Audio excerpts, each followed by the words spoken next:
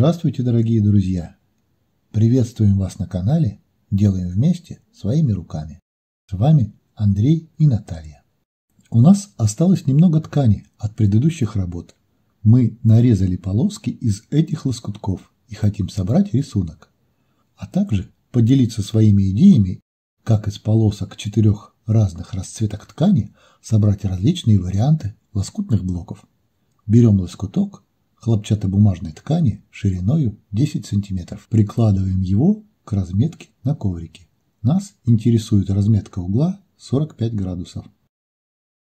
Делаем отметку швейным мелком на лоскутке и берем следующий лоскуток. Вторая полоска у нас шириной 5 см. Прикладываем ее к первой полоске лицевой стороной и крепим булавками. Полоски крепим с таким расчетом, чтобы разметка угла 45 градусов пересекала только небольшой край каждой последующей полоски, что позволит нам значительно сэкономить материал. Закрепили полоску булавками. Берем следующую. Третья полоска у нас шириной 3 см. Делаем отметку мелком. Отметку мы делаем на случай, если ткани сдвинутся в процессе крепления. Потом прикладываем третий лоскуток ко второму, лицевой стороны к лицевой и тоже крепим булавками. Третью полоску зафиксировали. Берем четвертую. Она у нас той же ширины, что и вторая, 5 сантиметров.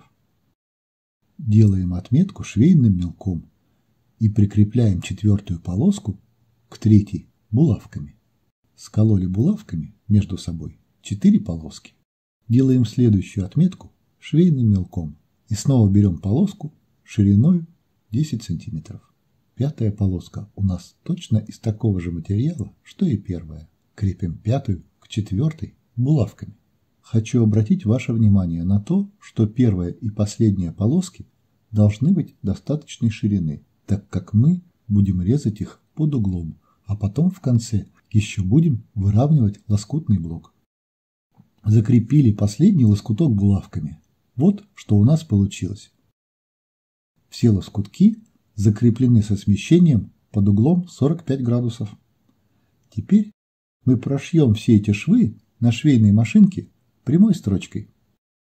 Прошили швы прямой строчкой. Так как ткани у нас довольно тонкие, мы решили сразу обработать края простым зигзагом, чтобы ткани не осыпались.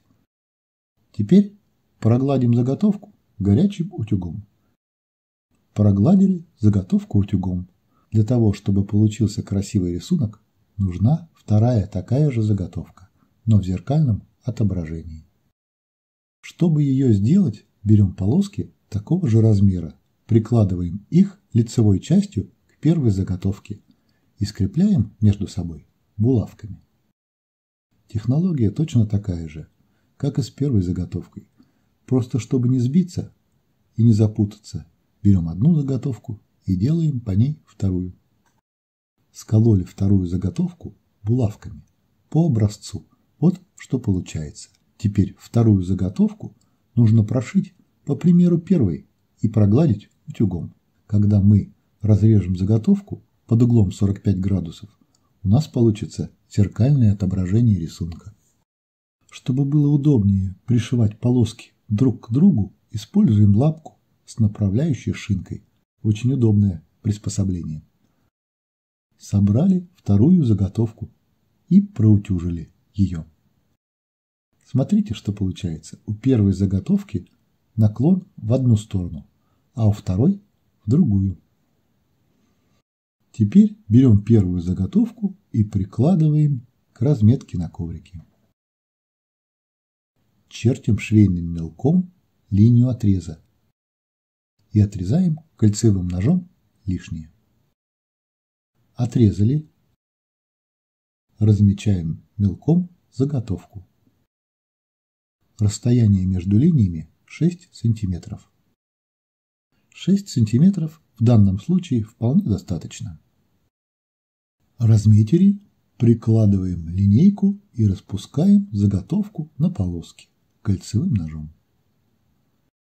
Вот смотрите, распустили на полоски первую заготовку. Убираем последний лоскуток. он у нас тоже не пропадет. Потом пойдет в работу. А пока будем показывать на одинаковых лоскутках. Для примера покажем, что можно сделать из первой части. Рисунок складывается очень просто и быстро, даже на вскидку.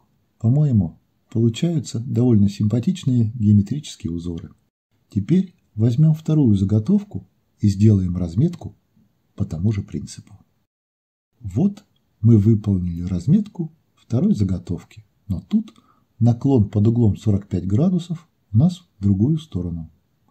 Теперь берем кольцевой нож и тоже распускаем вторую заготовку на лоскутки. Распустили заготовку на лоскутки. Убираем первый и последний. Коврик нам пока больше не понадобится, поэтому убираем его в сторонку. Это у нас лоскутки от второй заготовки, а это от первой. С этим уже интереснее работать, что-либо складывать. Вариантов рисунка намного больше, и сам рисунок может быть намного сложнее. Мы просто показываем принцип, а как этот принцип применить, вам подскажет ваша безграничная фантазия. Причем, чем больше количество лоскутков, тем может быть сложнее и разнообразнее рисунок. Мне лично это очень нравится.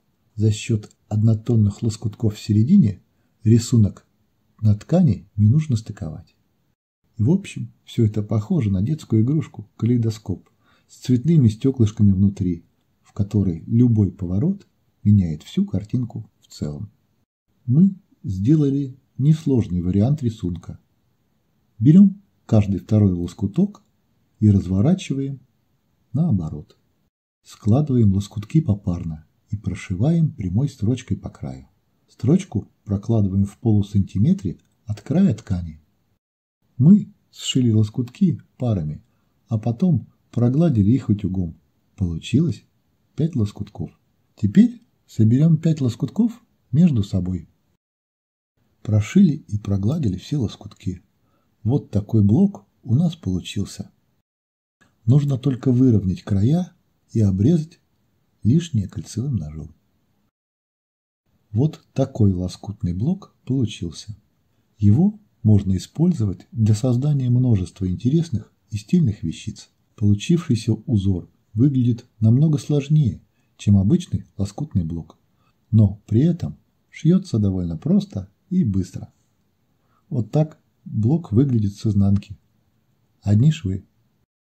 А на этом у нас все. Если вам нравится то, что мы делаем, подписывайтесь и пишите нам. Мы читаем все ваши комментарии. Всего вам доброго. До свидания.